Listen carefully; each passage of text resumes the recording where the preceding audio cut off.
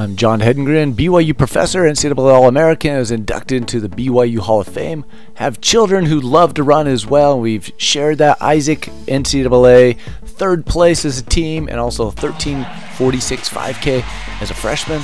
Here's Jane in the Brooks PR mile from last year as a sophomore, up against some of the best talent in the U.S. And here you can see them starting the mile. They went out very fast, great athletes in this race. And Jane just was in third place here, just stuck with the leaders.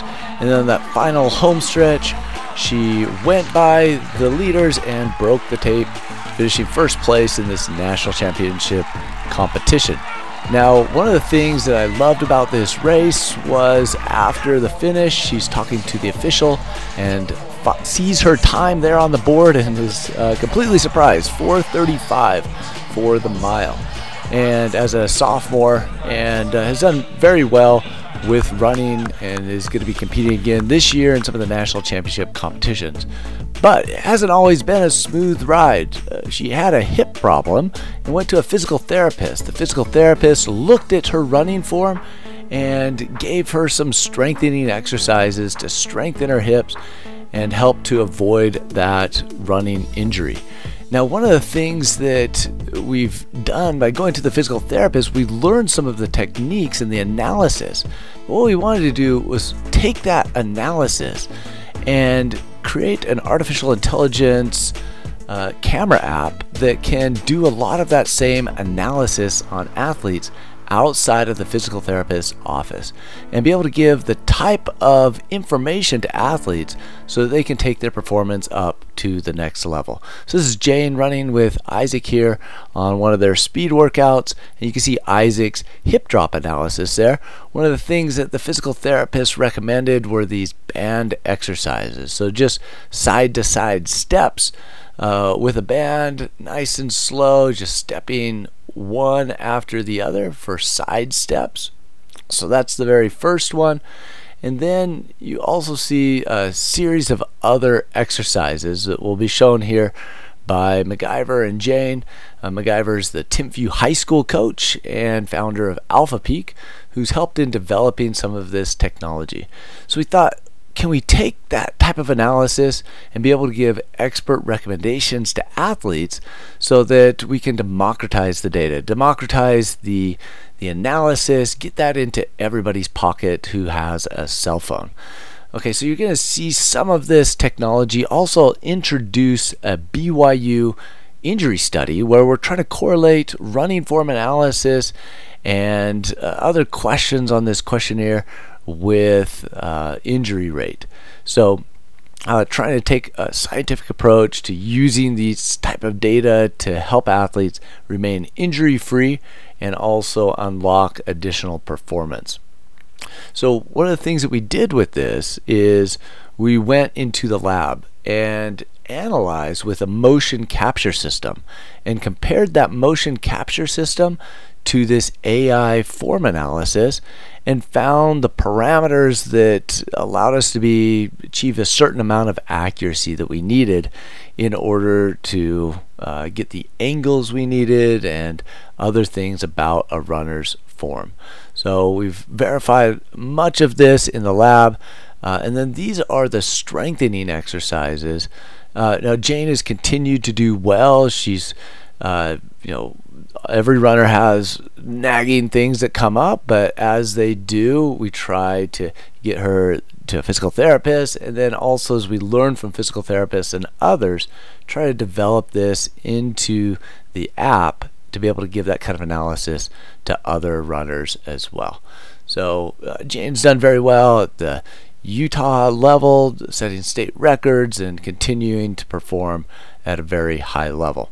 And this is something that uh, we feel is, you know, for runners, there's a lot of information out there online about training, about nutrition, and other things.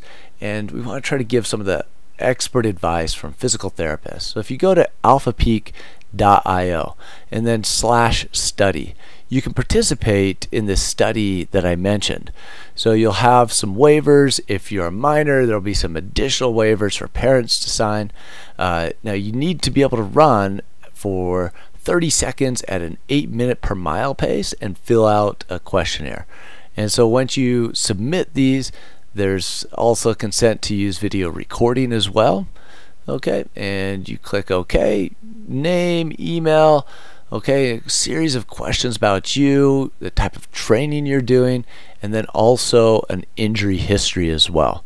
So, uh, what types of injuries you've had, over time and we're going to try to use this form analysis to correlate to running injuries and see if we can determine with a large scale study thousands of participants what types of things we can analyze and deduce from just the running form Okay, so if you want to come here as well, there's uh, Alpha Form. You can get started. This is just with your cell phone or on a computer. You can analyze legs, hips, or arms and the angles on those. Go to the next step as well. Okay, and then you can say legs, arms, or hips. I'm going to select hips for this one and then choose a file and then click submit. So let's say you're Tom Cruise and you submitted the video. You can analyze your form, be able to accomplish even greater feats of sprinting, but most people are not like Tom Cruise, especially beginner runners. They start out and uh, sometimes they lose a shoe or they're just inexperienced in many other ways. I coach a Roadrunner Junior Club, and this has been how I try to inspire athletes is with expert coaching, and we have some fantastic coaches as part of the team Olympians, uh, NCAA runners, and moms and dads who are just interested in helping these athletes. So we want to be able to give them the best advice that we can, especially as they're starting out you know, moderation in training, not overtraining, but also just the right things to be able to strengthen certain muscles and other things to keep them injury free. Now, among runners, between 19 and 79% get injured every year from running. It's a very high injury rate sport. Uh, just the repetitive motion of running causes these injuries. And one of them in particular is this one that Jane struggled with was the hip problems, and it was due to excessive hip drop and weakness in the hips. So we want to analyze this contralateral hip drop, the angle of hip drop from side to side as athletes are running, and be able to do that on the roads, on the grass, on some place that isn't necessarily a high-tech lab and do that with AI. So this is the running team, some of the young athletes, they're just enjoying running, getting familiar with the sport and uh, just getting started. And so I want to give them some great advice, and I'll show you some of the results that we took today. In fact, uh, from one of our practices, we've got athletes that are just taking minutes and minutes off of their personal records and uh, just doing fantastic. Um, and so here's our elite division for the mile, for example. Okay, so just some of our athletes. Um, you know, elementary and middle school ages. Uh, for those that are interested, we practice Monday, Wednesday, Friday in Provo, and uh, we're always in search of great coaches. And if you have an athlete that wants to run with us as well, we'd love to have them join us for the workouts and races. So uh, I just want to show you as well some of the results that we generated. Here's our team. Uh, a lot of fun working with them. So this is this morning. You can see here we want to try to keep below 7 degrees on the contralateral hip drop for these athletes. So anything that shows green, that's below the 7 degree mark. Uh, and ideally for men, it's going to be lower than 5 degrees contralateral hip drop. Uh, some of the studies suggest that up to 40% of running injuries are due to excessive hip drop. It puts a strain on the IT band, on the lower back, on the hip muscles as well, and that repetitive motion of dropping too far on each side is caused by that weakness in the hips. So, as athletes, uh, you could think, well, maybe I'll just change that by thinking about it and changing my running form. Well, one of the things that we've seen from studies is that runners tend to just run most efficiently and the best way naturally. And so, what we do instead is we strengthen key muscles in the hip area so that runners then naturally change their running form. So they become stronger, they have less hip drop, and they stay more injury free and run more efficiently as well. Okay, so I'll just uh, you know make a couple other observations as we go through this. You could see some runners where it might spike up into the red. Uh, they might have just hit a bump in the ground, or maybe there's some inaccuracy. Also, you see some you know loose clothing that might also affect some of the accuracy of this. We've done a lot of verification from the side on treadmills. Uh, you know, from the front. Um, we haven't done as much verification here, so we're still working on that, still a, a work in progress.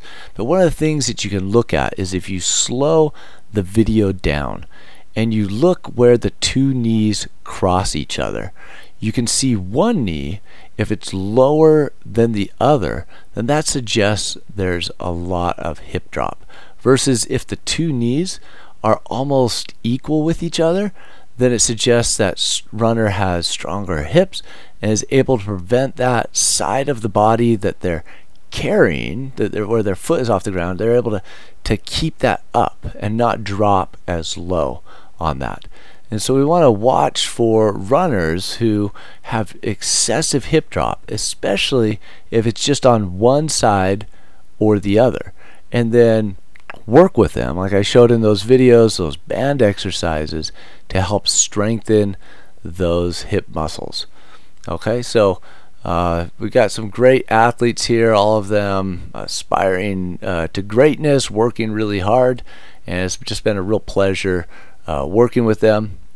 Um, also, appreciate your attention during this presentation. Uh, just really appreciate the opportunity to talk at the Utah Valley Marathon Symposium uh, with some other great speakers as well. We've got Connor Mantz, we've got others, and appreciate uh, the opportunity to be able to share the stage with them. Also, just really want to appreciate uh, Ian Hunter uh, from the BYU Biomechanics Lab and uh, Luke, his graduate student who's working with them on this study. They're doing all of the hard work on analyzing the data, doing the verifications, doing the motion capture system, evaluating different types of technology, and how we can get this out of the lab and uh, get this into the hands of people everywhere. Also, MacGyver Clark. I'll just say a little bit about him as well. He's the one that I've jointly developed some of these things with. Uh, he's a coach at Timpview High School, former Roadrunner coach as well, and really trying to take data and data analysis and apply that uh, to his runners. And you've seen from the Timpview High School team uh, in the last three years, they had seven runners qualify for state, and then 15, and then 28. Uh, and they've won the state championship two years in a row, and it's really looking like a program that's having just a major impact in terms of the running scene in Utah. And so, him and Coach Jamie and others, and Alex and others who are just really having this impact, really try to use data driven methods with their athletes, analyzing workouts, doing form analysis, uh, really working on the little things, but also the strength training during the off season so that runners run with fewer injuries and are running more efficiently. So, this whole paradigm of using data better, using data analysis, and helping runners, especially as they're developing, uh, in this really critical, impressionable time where they need this good coaching that can help them uh, with the best best advice, best um, you know, best training and best strengthening exercises. So um, anyway, just uh, I'll let this video run. These are just some of the athletes. You can see some of them. Uh, you know, excellent running form. Many of them, you know, a little bit of strengthening is really going to help them uh, develop as athletes and as runners. So, uh, thanks for your attention, and uh, please reach out with any questions or comments. Also, I'd love to have you submit your own video and be part of the BYU running study as well.